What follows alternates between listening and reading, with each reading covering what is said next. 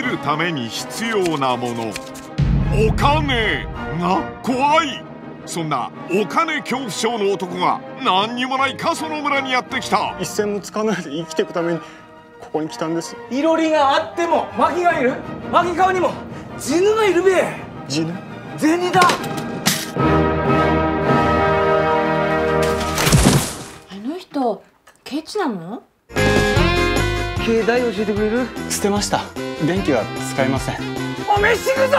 触れない使えない欲しくないヘタレな男の田舎生活。果たしてどうなる？